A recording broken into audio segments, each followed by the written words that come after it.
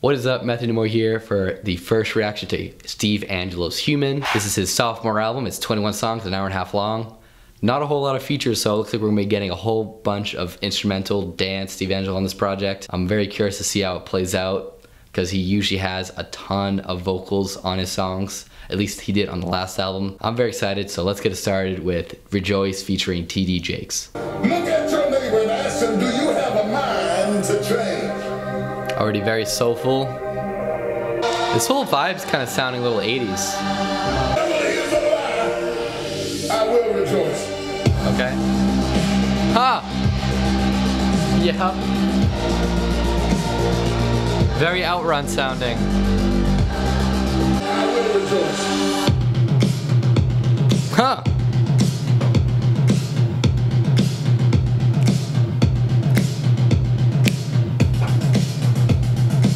Now we're kind of getting somewhere. Usually people in at least modern house use these gospel samples more to set an energy and a vibe. But I think I'm supposed to literally be hearing, listening to this person right now and taking it word for word. Uh, just should not be six minutes long. This is way too long. All right, Rejoice, intro track. Definitely the longest intro to any EDM song I've ever heard, and probably to its detriment. I didn't really buy into the soulful sample. I do think that the more electro, older outrun style is very interesting to hear. However, there was enough new elements of that electro. There was enough new elements of the electro style, except for that one breakdown towards like the second third of the song. However, then it had a whole other C section that was very similar to the rest of the song. So a little bit of a snooze, gonna be honest. Not necessarily a terrible song, but but just really couldn't hold my attention. Next up is Breaking Kind by Paul Meany. I bet this whole album's gonna be 80s vibe. Ha. Oh, That's a little Vox in the background too.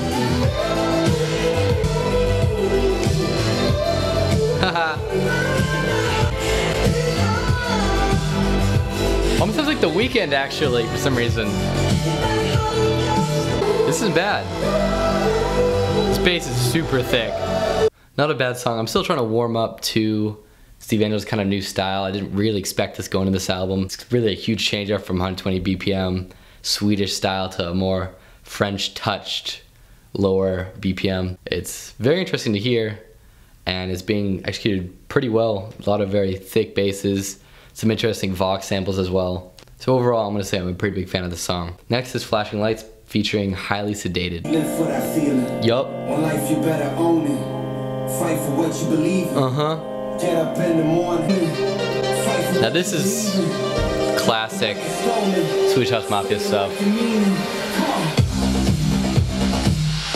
Nice.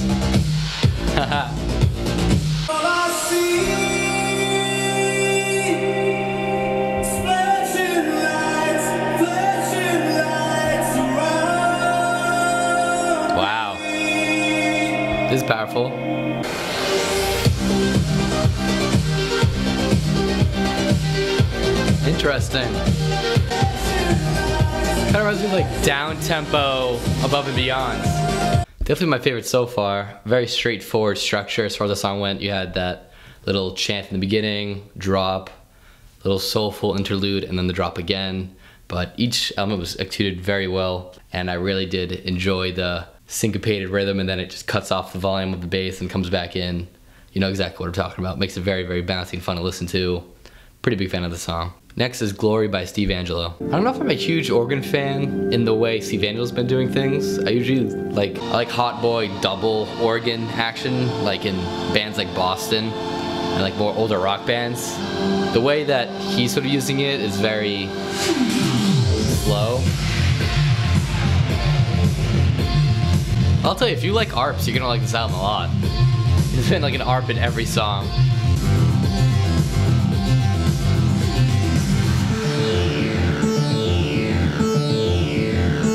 Okay.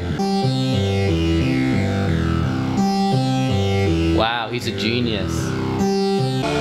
Oh, here we go. Oh my gosh.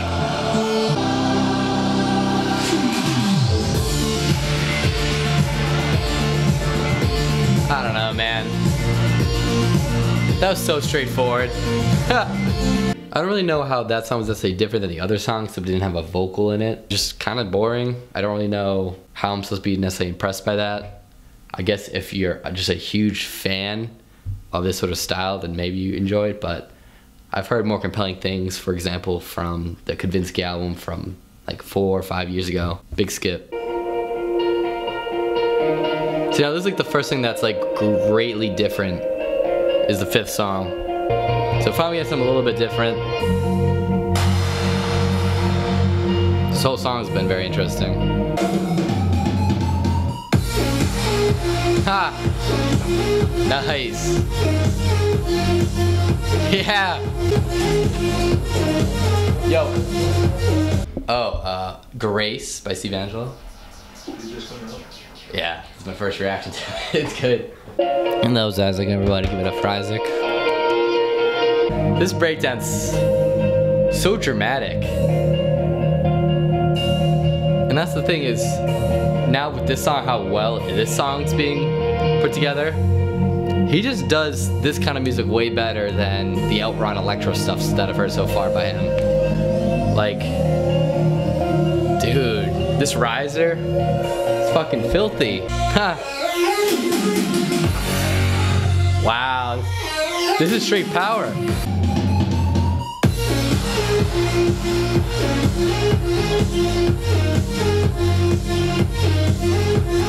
So that was definitely my favorite of the album so far. If this really just shows us how much better he is at that Swedish progressive house style than he is at that French electro house style. There's just so many more interesting subtle things and at the same time it's just like the finish, the sounds, the selection of every single element in the song, just straight perfect. This song is really, really dope. Next is Are You featuring WDL.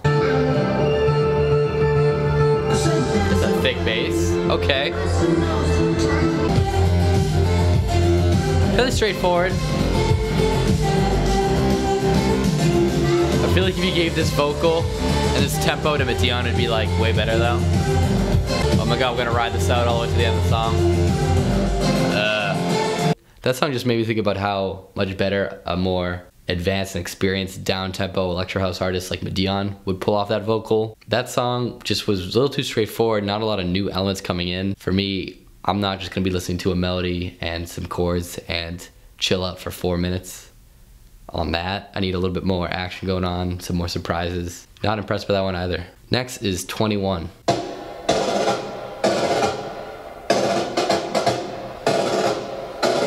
Is this a Gatorade commercial? See, yeah, this could be sick. What is what's gonna happen here?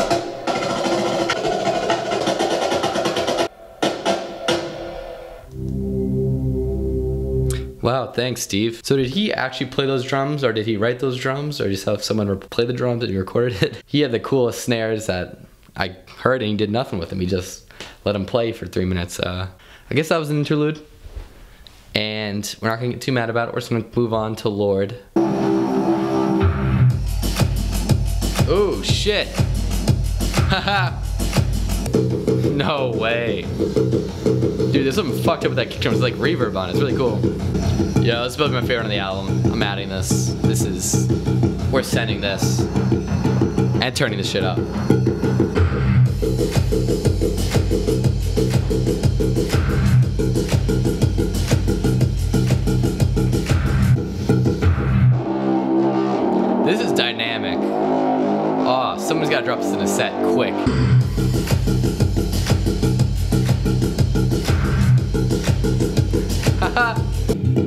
It's like Blue Man Group meets Deadmau5 4 times 4 e- equals 12 era. Yo, this is the longest build I've ever heard and it's not getting quieter. Is there any automation going on right now? What the hell? Low key, a really, really cool house banger. Really cool experimentation with sounds. And then, of course, the mixing was just phenomenal. The one thing, you got a five minute song, you could maybe have a little bit more progression throughout the whole track. Chop it up, change up the bass sound a little bit, add an extra like, you know, laser sound, synth. It's super dope, but you could have had just one more element on it to make it really, really like that fucking song. And that's kind of a problem with all these songs. The second half is the same as the first half of all these songs. For the whole song in that first you know, minute, minute and a half, which isn't bad. You know, I do like quite a few like Deadmau5 songs that are six, seven, eight minutes long. But those songs are from a while ago. Like even Deadmau5 now still does different change ups now in his music. However, still probably one of my favorites of the album just because of that cool experimentation factor, and I haven't heard anything quite like it. Next up is Wanna. I can totally hear it.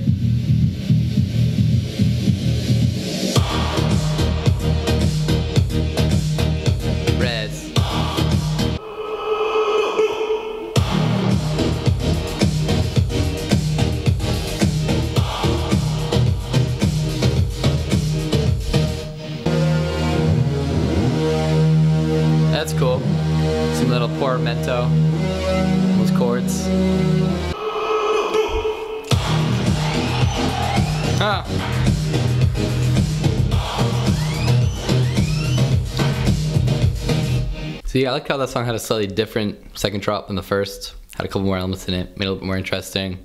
Up next is The Kiss.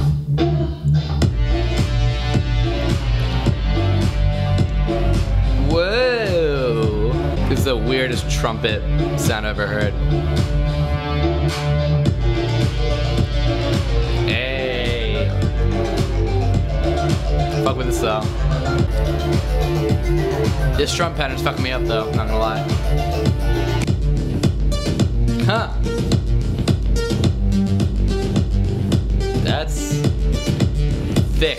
See now this is cool. This was a great progression all the way through this. An actually interesting progressive track. All the elements were all very interesting, except for that trumpet that was panning back and forth throughout the whole song. I wish that maybe was like a chord or some sort of synth or maybe an organ. Just something that sounded a little bit less dorky, to be honest. By the end of that song, I was really into it. There was a lot of all the synths came together really well, including that strum pattern, that, especially that strum pattern that reminded me of Daft Punk's Veridis Quo. Very, very cool. Next is God.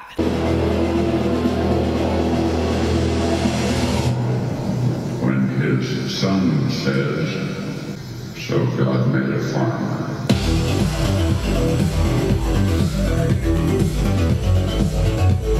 Yeah, I don't know about that quote. I can see this drop coming in from a mile away. It's just not doing much for me in 2018. It really is just not that compelling. Next up is I Know. Yup. Little Sophie style. Huh. Nice. I like the obscene amount of reverb going on right now. It's giving a lot of character. Very pretty chords. This song's dope. Haha. That's dope. Now that art was very pretty. Some very interesting textures as well, especially in that intro.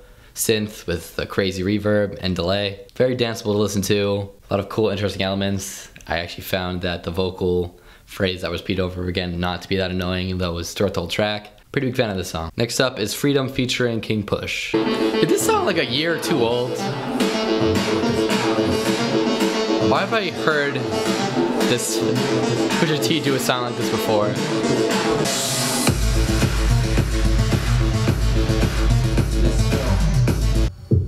Yeah, man. We're young and we're gonna take back because we're the youth.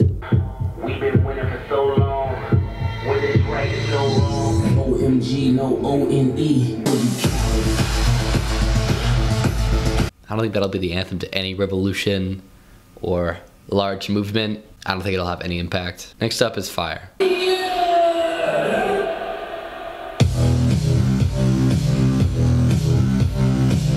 Well, I think it's cool that Steve Angello is showing you can go a different BPM.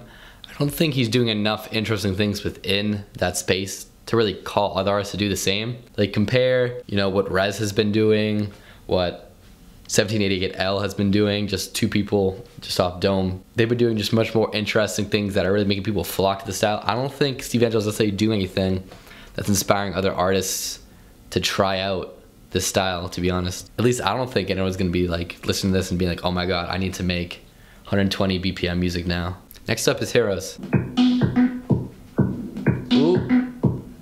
Little silent, little Oh shit. Oh, yes. Well, that's some actual soul samples. Something I actually like about that era.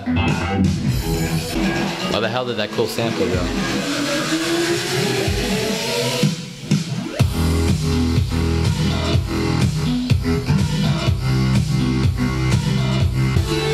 It's like almost like whitewashed electro outrun. Not to mention like the album cover and all the single covers. do Not make me think of this sort of music at all. Like this this music's very colorful. And like I can see neon. Like fuck it, let's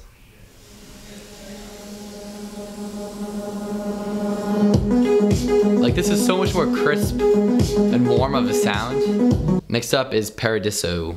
Like have I not just heard this like at least four other times? And it doesn't even have a vocal over it. There's nothing to distinguish it, really. Like, yeah, organ violin backing, arp up top.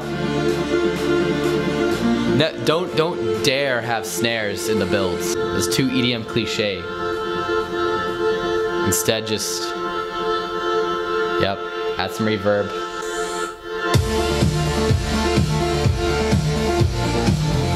This project's too long. There's too many songs that so bloated. It's ridiculous. Next up is Dopamine featuring Burns Conway.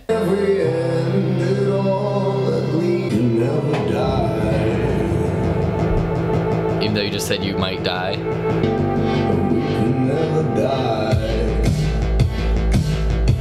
Ha! Nice thick square bass.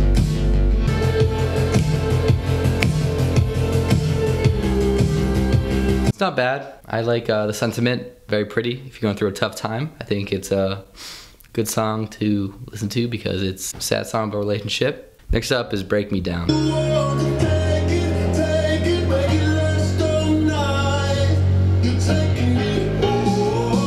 Hey, snares in the builds. It's been an hour.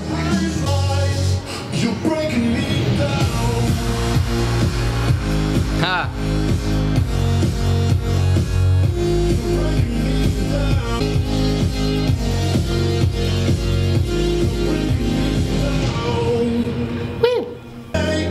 Solid. Trying to figure out what the chorus is, but it's kind of he's kind of crushing it. The two definitely better songs of the album is Progressive House. Solid, solid. Second Progressive House sounding song on the album, and it's definitely one of the better ones. Performance was actually pretty sweet, so another plus, another plus song. Next up is Eros. Damn, son, where'd you find this? This is nice and spacey, actually. I don't mind this. I definitely would have replaced this with the drum song. This is a very, very beautiful interlude, actually. Maybe a little too long for some people, but I think it served its purpose really well. Very pleasant synths. 20 songs down, one more to go. Last song is Nothing Scares Me Anymore with Sam Martin. This is cute. This should have been the intro to the album, not gonna lie. This definitely has the most instantaneous grabbing power. Ooh! Haha!